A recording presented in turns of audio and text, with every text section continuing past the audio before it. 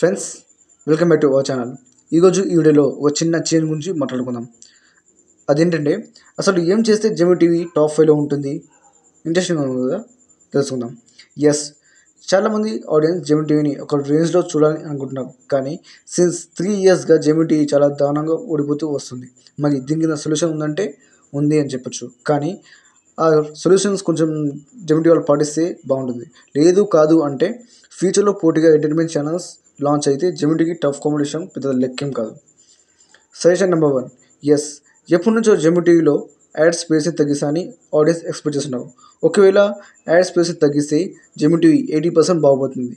లేదంటే ఇంకా జెమి TV ads చేసినా దారుణంగా నష్టపోతుంది. లేదు యాడ్ స్పీడ్స్ని తగ్గించలేము అంటే ఇంకో ఆప్షన్ ఉంది. బ్యాక్ ఇన్ టైమింగ్ని పెట్టడం.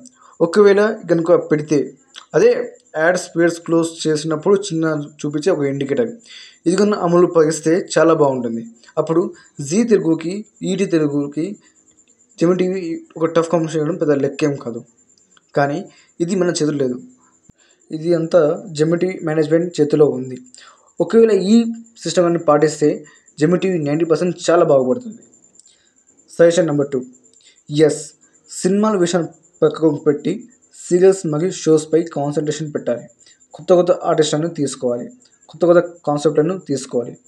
ఆఫ్టర్నూన్ సీరియల్స్ని సెట్ చేయకపోయినా పర్లేదు కానీ ప్రైమ్ టైంలో వచ్చే సీరియల్స్ని మంచిగా సెట్ చేసి అట్లీస్ట్ ఒక సెవెన్ సీరియల్స్నైనా కొంచెం బాగా చూపించేటట్టు చేస్తే అంటే ప్రసారం చేస్తే చాలా బెటర్ చేంజ్ అవుతుంది.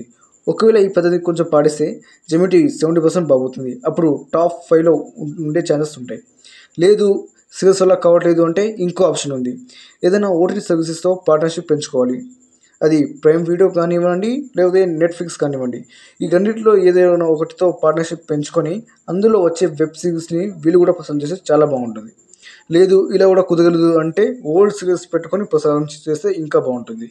లేదు ఇదంతా కుదరట్లేదు అంటే మోసుకొని కూర్చోాల్సిందే session number three.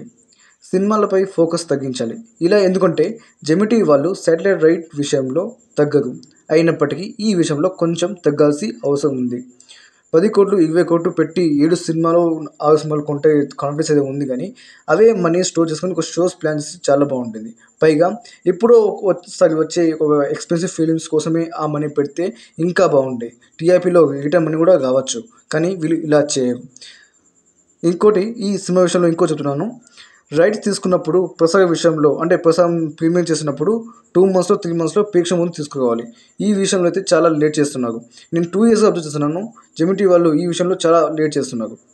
So friends ఇది ఈ మూడు సజెషన్ కనుక జెమిటీ వాళ్ళు పాటిస్తే ఎయిటీ పర్సెంట్ చాలా బాగుపడుతుంది. ఇంకా టాప్ ఫైవ్లో కాదు టాప్ త్రీ టాప్ టూలో అలా కూడా ఉండొచ్చు. బట్ నాకు తెలిసి జెమిటీ వాళ్ళకి ఈగో ఎక్కువ అని విన్నాను. బహుశా అదే నిజమేమో. But I truly wish Gemini TV మేము చెప్పిన సజెషన్ కొంచెం ఫాలో అయితే చాలా బాగుంటుంది. ఫ్రెండ్స్ నాకు ఒక చిన్న రిక్వెస్ట్ వీలైతే ఈ వీడియోని మీ ఫ్రెండ్స్కి షేర్ చేయండి. వాళ్ళకు కూడా ఇలాంటి ఇన్ఫర్మేషన్ తెలుస్తుంది. జెమ్ టీవీకి బుద్ధి వస్తుంది.